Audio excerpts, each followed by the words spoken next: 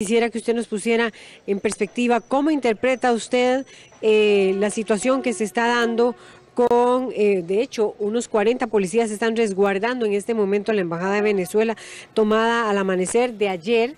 Recordarán por María Faría, representante diplomática designada por el presidente Juan Guaidó. El presidente Carlos Alvarado había dado dos meses para que eh, había invitado a salir al, al personal eh, y a los representantes diplomáticos de la Embajada de Venezuela del gobierno de Nicolás Maduro. Bueno, ¿cómo entender entonces esta toma por parte de María Faría, representante diplomática que designa Juan Guaidó? ¿Cómo lo ve usted, Enrique Castillo, vice, ex, vice, canciller? Buenos días. Muy buenos días. Eh, sí, con mucho gusto eh, voy a, expresarles mi opinión. Este caso está regulado, como muchos otros aspectos de las relaciones diplomáticas entre Estados, por la Convención de Viena sobre Relaciones Diplomáticas del año 1961. Eh, retomemos brevemente los hechos. El gobierno de el presidente Guaidó nombra una nueva embajadora en Costa Rica eh, ella viene, presenta cartas credenciales y a partir de ese momento el gobierno costarricense le otorga 60 días al personal representante del gobierno de Maduro eh, para retirarse del país. La toma de posesión de la embajada, de la sede de la embajada de Venezuela en Costa Rica, eh, eh, ocurrida el día de ayer, eh, me parece que está conforme con lo estipulado en la Convención de Viena, aunque la Convención de Viena no regula los aspectos de, quién posee una sede diplomática o no, sí está regulado quién es y a partir de qué momento quién deja de ser eh, funcionario diplomático o agente diplomático y quién comienza a serlo. Y está muy claro en la Convención de Viena que, en primer lugar, cuando se, el Estado que, va, que está nombrando un, un, nuevo embajador o un nuevo personal diplomático comunica ese nombramiento, eh, dice a partir, puede decir a partir de qué momento eh, entrará a fungir como su representante en un país receptor y a, y a partir de qué momento los anteriores representantes se retiran. No conozco los detalles, yo no sé si hubo correspondencia o comunicaciones de otra índole entre, entre el gobierno de Guaidó y la Cancillería costarricense, pero en todo caso, lo que sí está claro es que en la convención se estipula que desde el momento en que un embajador presenta sus cartas credenciales, eso en, en algunos casos, en otros casos con solamente presentar las copias de las cartas credenciales a la Cancillería del país receptor, ya es un funcionario diplomático, un agente diplomático en el ejercicio de su función. Y eso implica que su predecesor o sus predecesores cesan inmediatamente. Creo que ha habido una confusión eh, en que consiste en lo siguiente. El plazo que se da, y esto lo estipula también la Convención de Viena, para que los anteriores representantes salgan del país, eh, es un plazo únicamente para eh, extender la protección, los, sus privilegios e inmunidades hasta esa fecha que ellos deben salir del país. E incluso la convención dice, pero para actos realizados como funcionarios de la embajada, ¿qué fueron?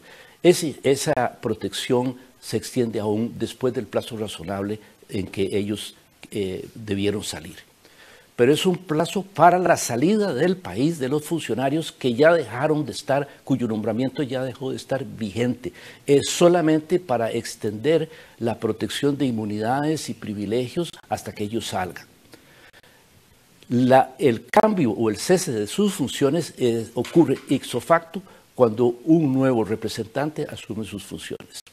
Quiere decir que el personal del gobierno de Maduro que estaba en la embajada ya no estaba acreditado y habilitado para ejercer sus funciones diplomáticas como representante de Venezuela en Costa Rica, porque desde el momento en que la señora Faría presentó credenciales, ella pasó y su personal, si es que ella vino acompañada de personal, pasaron a ser los nuevos representantes de Costa Rica, son, perdón, de Venezuela en Costa Rica, son quienes tienen derecho de acceder a la sede diplomática y de utilizarla para sus funciones de representación. De manera que, eh, para mí, de acuerdo con, la Convención de Viena, eh, la situación es clara. Eh, los anteriores representantes pueden usar su plazo de 60 días para salir del país, pero ya no son representantes oficiales del Estado venezolano. Aquí tenemos otra causa de ambigüedad porque tenemos en este caso concreto una relación con un Estado que tiene dos gobiernos. Eh, pero ya Costa Rica tomó una opción y reconoció al gobierno eh, que, eh, a cuyo cargo está el señor Guaidó. Ese es el gobierno con el que Costa Rica está teniendo relaciones y lo coherente de aquí en adelante es que el gobierno costarricense le garantice a la señora Fario el, Faría el, ejercicio normal de su cargo y eh, que la embajada pueda desempeñarse como tal ante el gobierno costarricense. Bueno, tenemos también en línea eh, con Enrique Castillo a Walter Antillón. Él es exdecano de la Facultad de, perdón, de, Derecho de la Universidad de Costa Rica y también es catedrático de la UCR. ¿Cuál es su, opinión sobre la toma que hizo ayer eh, la embajadora designada por el presidente eh, por Juan, por Juan Guaidó eh, de la Embajada de Venezuela en Costa Rica. ¿Cuál es su lectura de estos acontecimientos? Buenos días, Walter Antillón. Buenos días. ¿Me escucha? Sí, adelante, le escuchamos, don Walter. Muy bien. Pues mire, yo creo que el tema hay que verlo un poquito más atrás. A mí me parece que este señor Guaidó no es presidente de Venezuela en absoluto. Este señor ha hecho una interpretación extrañísima, absolutamente insostenible, del artículo 233 de la Constitución bolivariana. El artículo dice que cuando se produzca la falta absoluta del presidente electo o la presidenta electa, antes de tomar posesión, se procederá a una nueva elección universal, directa y secreta dentro de los 30 días consecutivos siguientes. Y dice, mientras elige y toma posesión el nuevo presidente o presidenta, se encargará de la presidencia de la República el presidente o presidenta de la Asamblea Nacional. Esa es la, la regla de la Constitución bolivariana. Pero es que en este caso no se ha producido nunca la falta absoluta del presidente electo. De modo que este es un una chapucería este interpretar que aquí hay una falta y proclamarse el evidentemente el pretexto es muy pequeño pero la razón la razón este política es muy grande o sea están tratando de inventar algo para meter una cuña en el gobierno de Venezuela. Y todos estos países que son alcahuetes andan este, reconociendo a este hombre, ¿verdad?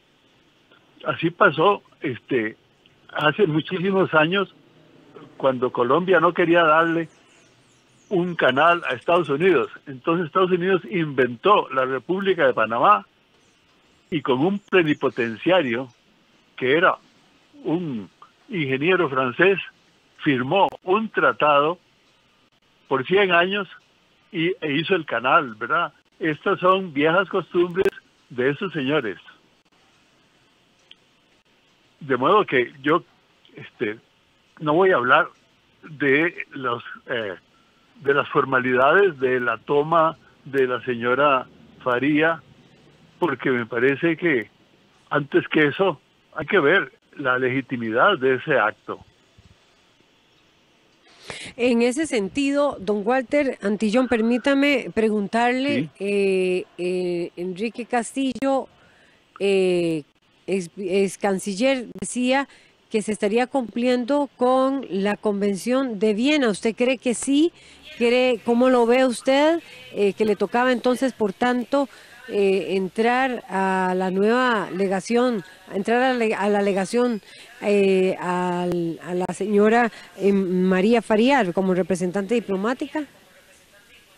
A mí me parece que, este, claro, si uno si uno da por buena la presidencia de Guaidó, y entonces va y reconoce a Guaidó, pues naturalmente que entonces tiene que admitir que Guaidó tenga sus diplomáticos, ¿no? El, el desastre aquí es haber aceptado este como buena mm. la proclamación de Guaidó como presidente, ¿verdad? Eso es, es decir, jurídicamente es un adefesio, es una cosa absolutamente inadmisible. Lo otro, pues bueno, entonces simplemente si aceptamos a Guaidó es el presidente, pues claro que puede nombrar este embajador. Eh, voy a ir ahora con don, don Álvaro Montero. Me dicen que ya está listo. No, todavía no está listo. Don Álvaro Montero, eh, está listo. Sí se mantiene don Enrique Castillo. Usted escuchaba lo que decía don Walter Antellón, exdecano de la Facultad de, Derecho de la Universidad de Costa Rica. ¿Cuál es su opinión al respecto? No, eh, yo,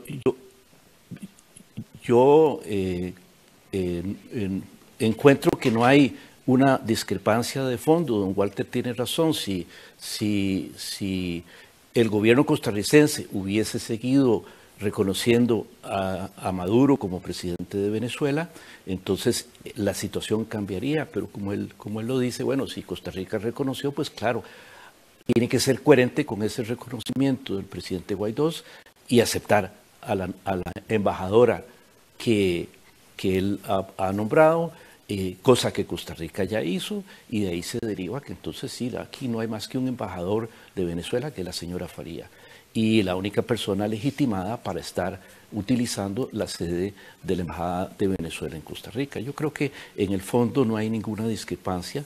Eh, eh, el, origen político de la presidencia de Guaidó o argumentar que Maduro sigue siendo el, presidente legítimo de Venezuela, es otra discusión.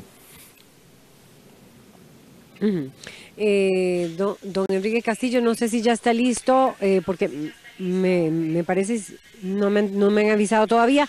Eh, usted decía, esa es otra discusión, si se reconoció. ¿Ya está listo, me dicen?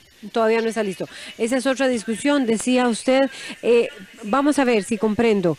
se había dado un plazo de 60 días eh, ese plazo eh, de invitar a la delegación que se encontraba em, para que dejara para que dejara la, la que hay allí eh, la, mm, la, la, sede diplomática que está aquí cerca en los Yoses, hubiera sido mejor que se diera ese plazo de los dos meses. Eh, o era necesario que se diera esta toma de posesión por parte de eh, María Faría, eh, representante diplomática, y sus otros miembros de, de, la representación que ella tiene. No, justamente ahí está el malentendido. Los 60 días no son para que sigan en la embajada los 60 días son, dado que ya dejaron de ser funcionarios diplomáticos reconocidos por Costa Rica, son para que abandonen el país, tiempo durante el cual seguirán gozando de las inmunidades y privilegios que Costa Rica otorga como país receptor a los representantes diplomáticos acreditados aquí. Pero ya no están acreditados como diplomáticos, no era para que dejaran la embajada. Ellos tenían que dejar la embajada a tiempo para que la señora Faría pudiese asumir el cargo y ocupar la embajada tranquilamente.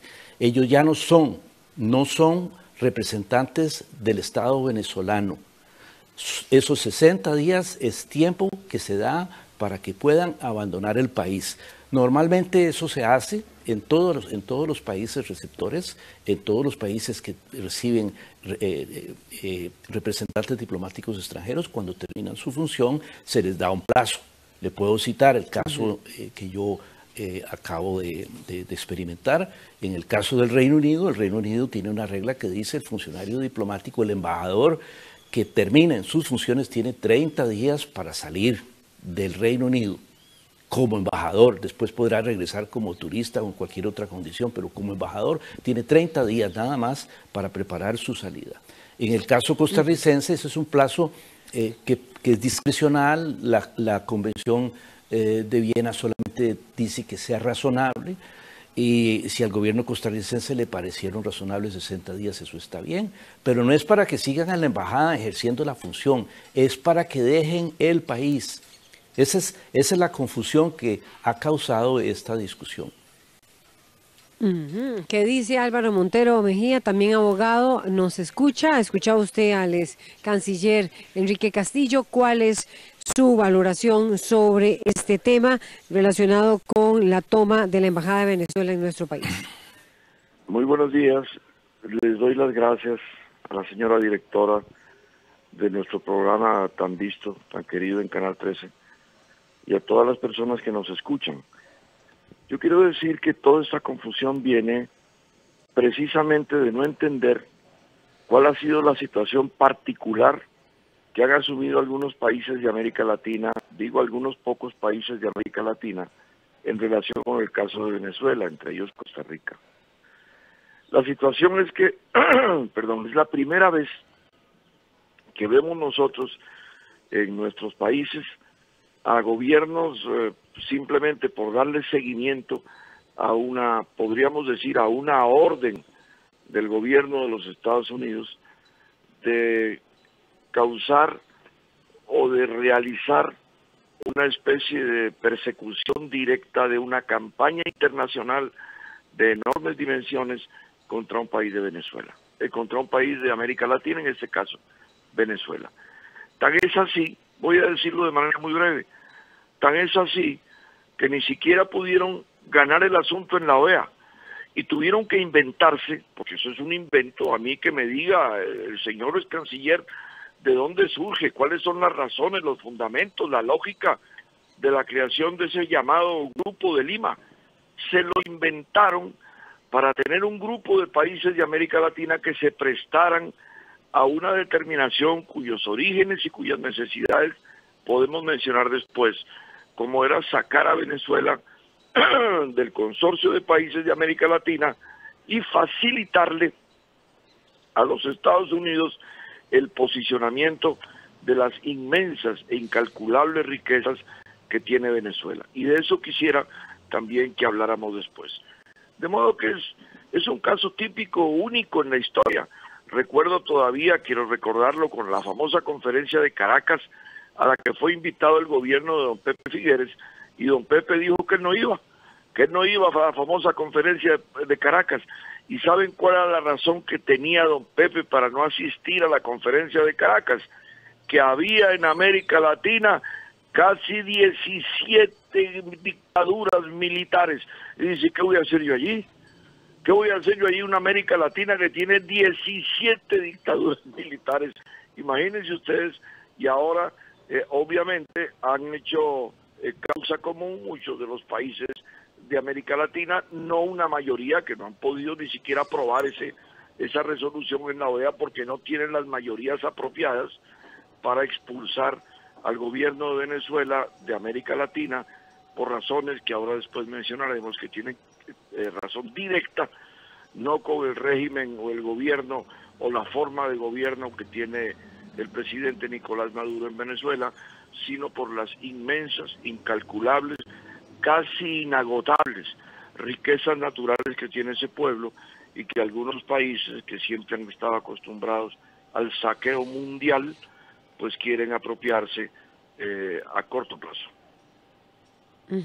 Eh, escuchaba eh, usted, don Enrique Castillo, Álvaro Montero, puede referirse a lo que él afirmó, pero también quisiera comentarle, es canciller, que el gobierno de Costa Rica deploró la toma de la Embajada de Venezuela en el país eh, y afirmó que era inaceptable la forma en la cual la misión de Guaidó irrumpió en la sede, eh, sobre todo porque lesiona elementales normas diplomáticas de respeto y confianza en la comunidad internacional. ¿Cómo ve usted esta aseveración de, parte de la de Lorena Aguilar, vicecanciller costarricense, y también lo que usted escuchaba de parte de Álvaro Montero Mejía? Sí. Bueno, yo, yo considero que lamentablemente eh, esa posición que tuvo la Cancillería ayer es incoherente con el hecho de haber eh, aceptado, eh, primero, desconocido al presidente Maduro como presidente legítimo de Venezuela, haber reconocido al presidente Juan, Juan Guaidó y de haber aceptado la presentación credenciales, de credenciales de la embajadora Faría es una incongruencia. Eh, a partir de ese momento, la obligación del gobierno y de la Cancillería es respaldar a la embajadora Faría y facilitarle el ejercicio de sus funciones. Yo espero que ese acto sea rectificado. En cuanto a la discusión política de fondo, eh, yo no quiero entrar en esa discusión porque eso nos llevaría eh, largo rato y habría que simplemente lanzar una pregunta eh, o una afirmación.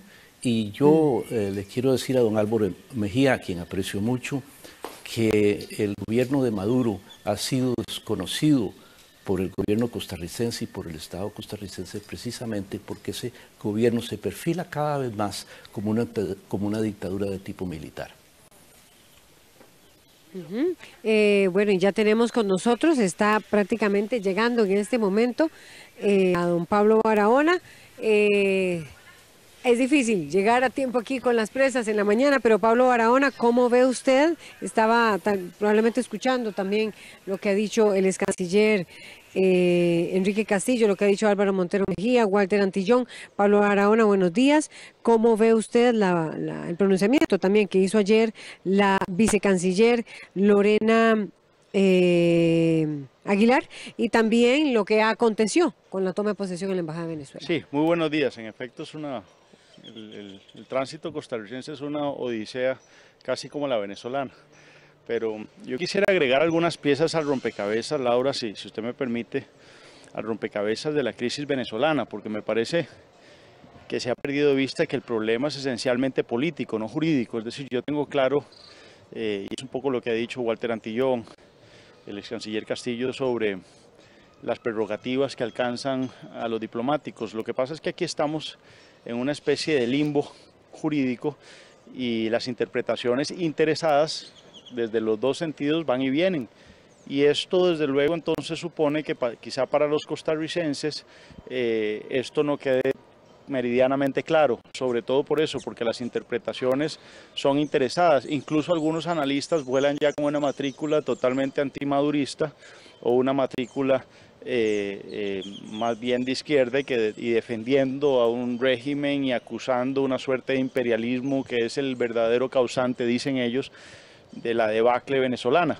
Yo creo que hay que ponerse un poco en el justo punto medio y analizar hechos. Eh, yo quisiera aquí apuntalar me parece que tanto la oposición venezolana, históricamente, solo lo, he venido señalando desde hace unos 10 años, no, es nuevo, pero, pero aquí creo que se están viendo todas las falencias de manera más evidente, carecen de asesorías políticas y de una estrategia bien armada. Si bien es cierto, ahora se está moviendo de manera un poco más sistémica, diría uno, y, y yo no negaría del todo que esto implique una asesoría del extranjero, de oposición venezolana también, eso hay que decirlo, eh, así como el régimen de Maduro está con un coaching muy, muy fuerte y muy marcado, sobre todo de Cuba, pero también de otros países, creo que la oposición venezolana también en este momento está recibiendo esas ayudas. Por otro lado, eh, no ha sido suficiente porque si vemos eh, Guaidó y los que lo rodean se equivocan, su toma de posesión, si es que le podemos decir así, cuando él se auto autoproclama eh, presidente de la transición, yo prefiero hablar de un representante de un gobierno de transición. Recordemos que don Pepe Figueres era el, el, el, el, jefe de la Junta Fundadora de la Segunda República, no era el presidente, porque era precisamente una transición. Entonces, decirle presidente a alguien que no ha sido electo popularmente y que se autoproclamó, ni siquiera en un escenario con cierta solemnidad como hubiera podido ser la Asamblea Nacional, sino que se autoproclamó en un mitin público, en una huelga parecida a la que hemos visto aquí en meses pasados. Entonces, eso digamos que le pone un asterisco al pie. Igual lo que ocurre ayer, en horas de la madrugada, ¿verdad?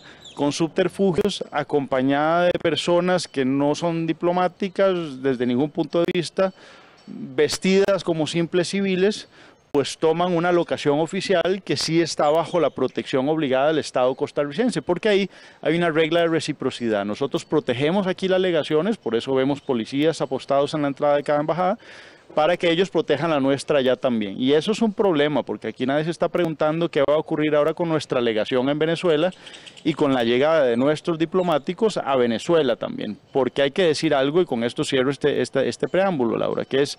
Eh, el, gran problema aquí es que Juan Guaidó está ejerciendo potestades de imperio, es decir, está ejerciendo poder público solo hacia afuera de Venezuela, ¿verdad?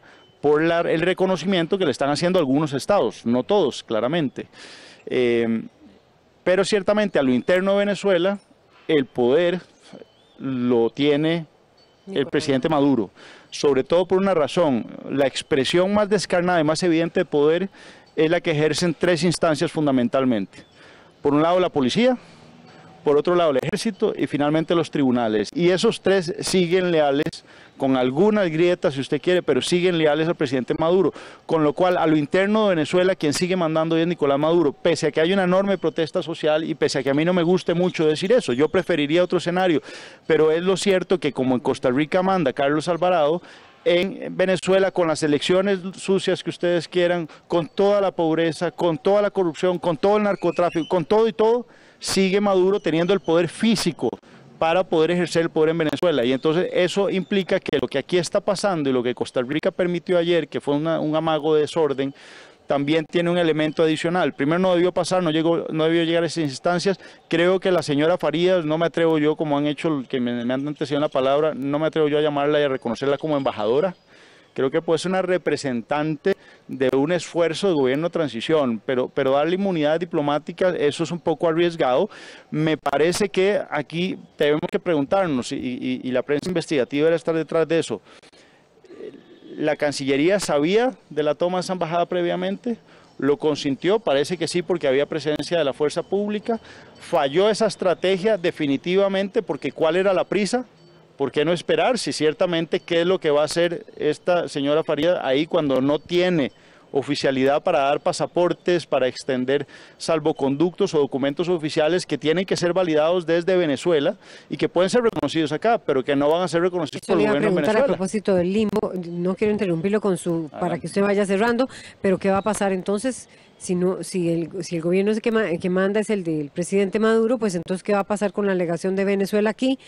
Cuando se quieren hacer trámites de algún tipo porque ella no tiene reconocimiento, solo Guaidó lo tiene a nivel internacional, lo dice usted. Claro, y yo, yo le quiero decir que, bueno, cuando yo figuraba como embajador en la OEA, recuerdo que se nos acercaban embajadores eh, eh, eh, venezolanos en el exilio, a todos los embajadores, no solo de Costa Rica. Recuerdo que la mayoría de los criterios venían desde el corazón, lo que es muy entendible. hay pocos patriotas que, que lo viven tan a flor de piel como los venezolanos, pero sin ninguna estrategia algunos con el hígado de la venganza, ¿verdad? Eh, y tratando de que el resto nos fuéramos en esa cáscara de banano cuando nuestro ejercicio era mucho más racional, amparado el derecho, y teníamos que cuidarnos de que así fuera. La Cancillería de Costa Rica debe servir como valladar para que la impulsividad de la oposición venezolana en Costa Rica no nos genere un problema también a Costa Rica, porque ya ayer vimos ciertos desórdenes.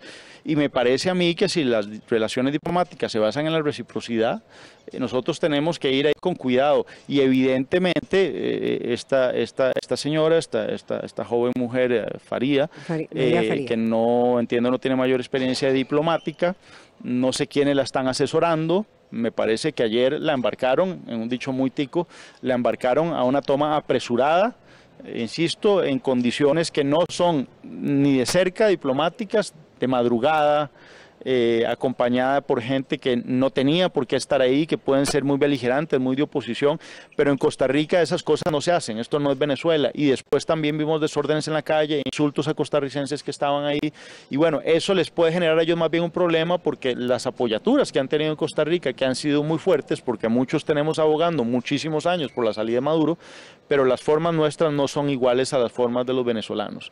Y eso tienen que entenderlo muy bien, porque la mayor cortesía y la primer prudencia que tenemos todos los diplomáticos es no incomodar a nuestro eh, anfitrión. El país anfitrión no puede sentirse incomodado por la visita de un diplomático. Al contrario, debe verse alimentado, debe verse nutrido y debe sentirse no solo satisfecho, sino cómodo con esa visita. Eh, entonces, en eso la señora Faría tiene que cuidarse mucho porque no pueden exportar su conflicto, porque si no van a perder una ventaja que tienen de apoyo de la opinión pública también en países que han estado siempre muy solidarios con ellos y a quienes además políticamente hemos hecho esfuerzos ingentes durante muchos años para liberar a Venezuela, lo que yo sí considero por otro lado es una dictadura. Nada más cierro diciendo, creo que ha fallado la estrategia de la oposición porque el hecho de que Estados Unidos vaya al frente de toda esta coalición y que sí parece, y ahí incluyo a Costa Rica muy críticamente, y lo digo con todas sus letras, que incluso Costa Rica, pero el grupo de Lima y etcétera, eh, parece que sí le están tomando el dictado a Estados Unidos. Y a mí eso me parece que debilita muchísimo el esfuerzo de liberar a Venezuela por una razón muy sencilla, porque en el fondo es darle la razón a Maduro, que siempre ha dicho que es el imperio el que está detrás. Ese es un tema que estratégicamente para Costa Rica habría validar, valorar para desmarcarse. Bien, muchas gracias Pablo Barahona, gracias Álvaro Montero Mejía, gracias Walter Antillón y también Enrique Castillo es canciller de la República y a ustedes por acompañarnos aquí en la revista. Quédese con Cinar Costa Rica Medios. Buenos días.